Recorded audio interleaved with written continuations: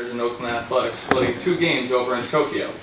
Game one was highlighted by a pitching duel between Brandon McCarthy of the Oakland A's and Felix Hernandez of the Seattle Mariners. Felix, one of the elite pitchers in baseball today, went eight strong, giving up just one run on five hits, no walks, and six strikeouts. With the lack of run support he usually receives, he received a no decision. The Mariners later won the game by a score of 3 to 1 behind a strong game by Dustin Ackley, who went 2 for 5 with a home run and a game winning single in the 11th inning. Oakland rebounded in game two behind a stellar pitching performance by former Yankee Bartolo Colon, who also went 8 strong, giving up just 3 hits and 1 run. Tomorrow night, the defending champion St. Louis Cardinals begin their season in Miami, where they'll take on the new-look Miami Marlins. This will be the first time in 11 years the Cardinals take the field on opening day without All-Star first baseman Albert Pujols, as he decided to sign a long-term deal with the Los Angeles Angels of Anaheim for 10 years, $240 million. It figures to be another typical year in New York, with the Yankees expected to do very well, and the Mets expected to do, well, quite frankly, absolutely nothing. The Yankees added depth in their starting rotation, adding a great young arm in Michael Pineda in a trade that sent top prospect Jesus Montero to the Seattle Mariners. Also, the Yankees signed former Dodger Hiroki Kuroda, who will in all likelihood be the number two in the rotation behind ACC Sabathia. The lineup is expected to be much of the same, with the only change being Robinson, Robinson Cano moving to the three-hole and Teixeira moving to the five-hole. The Yankees expect a big rebound year out of third baseman Alex Rodriguez, and they're going to need it in the playoffs with going against powerhouses like Texas and Detroit. On the other side of the Big Apple, although I'm sure many of you thought it was impossible, the Mets did in fact get worse. They lost, they lost Jose Reyes to the, to the Miami Marlins, traded Angel Pagan to the Giants, and there are several question marks surrounding the health of David Wright, Ike Davis, and opening day starter Johan Santana. On a minor bright note, the Mets did manage to strengthen their bullpen, bringing in two average at best pitchers in Frank Francisco and Jon Rauch, formerly of the Toronto Blue Jays.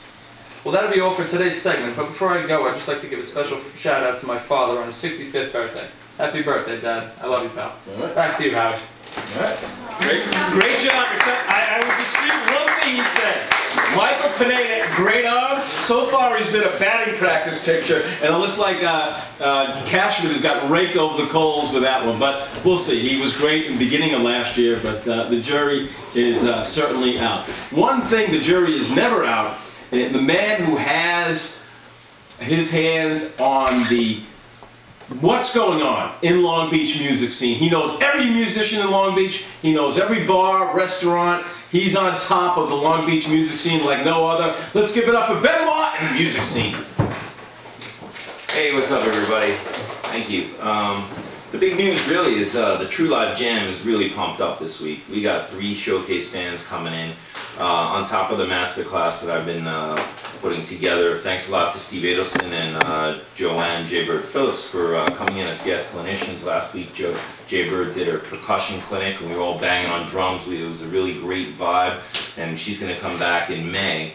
Um, check musicnoir.com, M-U-S-I-C-N-O-I-R.com for all my events and, and recommendations uh, and collaborations. But basically that masterclass thing is awesome.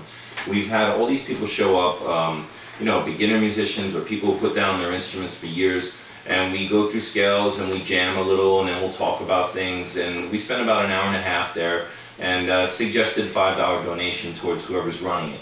Uh, I will be running it myself this week and uh, we're going to go over the pentatonic scale and it's a very useful scale and it's a lot of fun. It's a blues based five note scale um, and uh, you know we've done all the modes in the past but anyway back to the music. The showcase bands coming down this Thursday include uh, bassist Dave Pellegrino uh, is going to introduce us to the Mike Ernst Live Art Fusion Band. They do parties in Huntington where they have live painting and I'm always into that mixed media thing. I know you are too. It's fun to have a different atmosphere, not just music but art.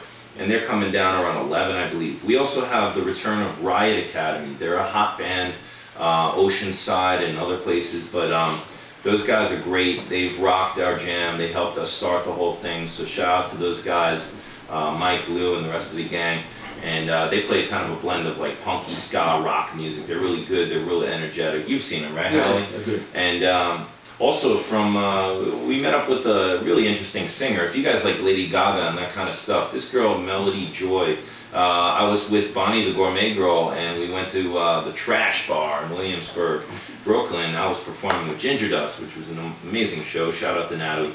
And basically, uh, Melody Joy, she's coming down the showcase as well. So this week, 7 to 8.30 is the masterclass, 9 to 1 is the jam. You can sign up, ladies play pool free all night long. And, uh, you know, that's an awesome, amazing deal. Any of you ladies can come down. We haven't had guys in skirts and wigs yet, but I'm imagining that we may get some of that stuff because it's ladies play free all night. I'm just joking, of course, but if you guys want to come down, and I know Howie, don't show up in the in the wig this week, all right? Um, what else is going on? There's other things going on. You know, just check in with all your clubs. You know, Bahia has a lot of loud music. Uh, the old Tiki Bar. Um, you know, you've got the Inn. You've got Minnesota's. You've got. Uh, you know, Cabana has live music. Wellsdale, Trainers. We're still doing the jam at Trainers on Sunday. Uh, that was a lot of fun this week. We're going more acoustic with that. And uh, yeah, I'm looking forward to all these shows. Thanks a lot, Howie, for having me on. Okay. Excellent. All right, it went down on Sunday. WWE WrestleMania. Rocco, what went down? Thank you very much. Uh, WrestleMania 28 went down. It went down la- uh, last night um, at 7 o'clock on pay per view. It was at the Sun Life Stadium in Miami Gardens. It was um, an amazing looking show.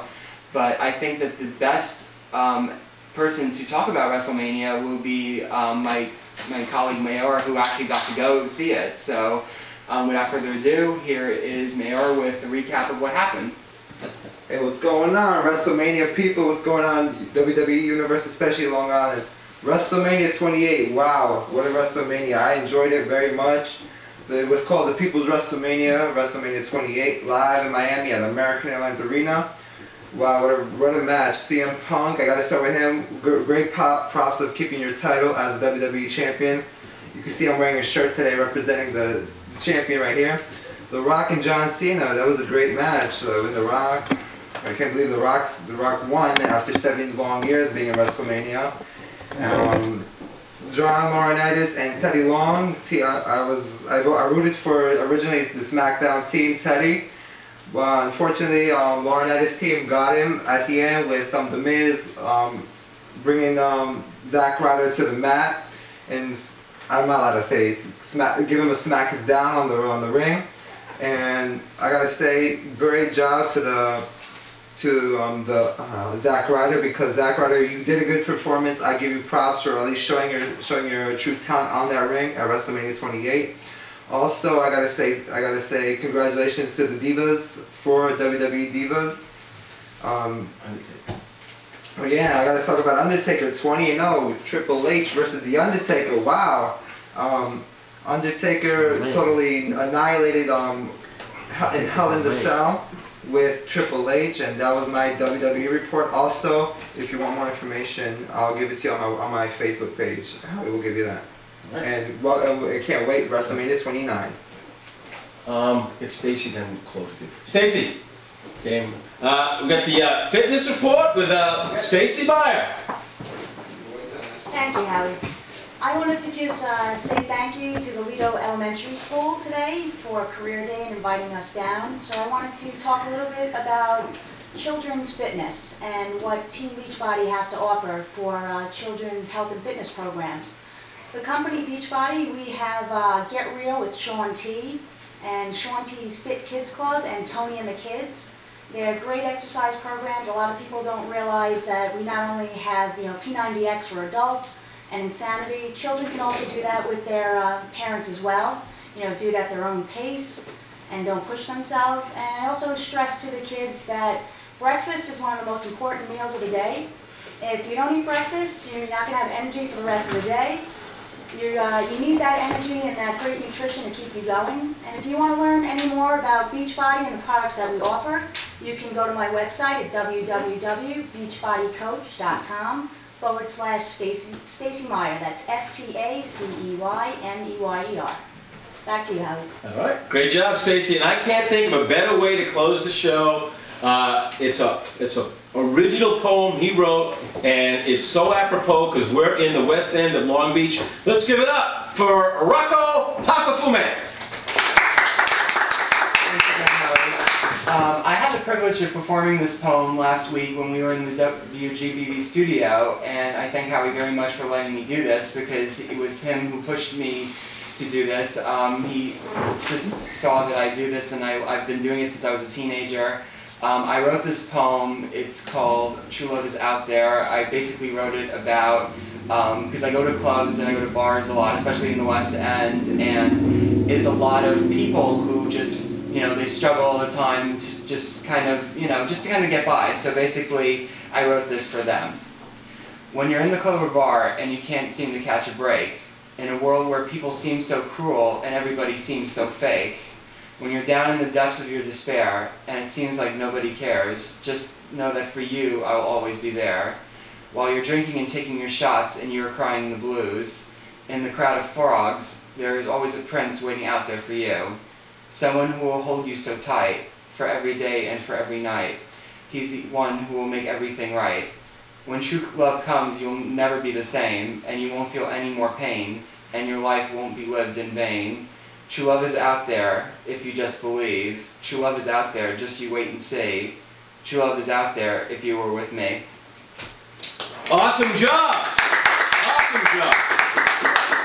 That's a great way. I want to thank all our guests. It was an incredible show. Long Beach is by far the best place in the world. And let me wrap. Next week we're at the Avenue Cafe right on National. Join us there.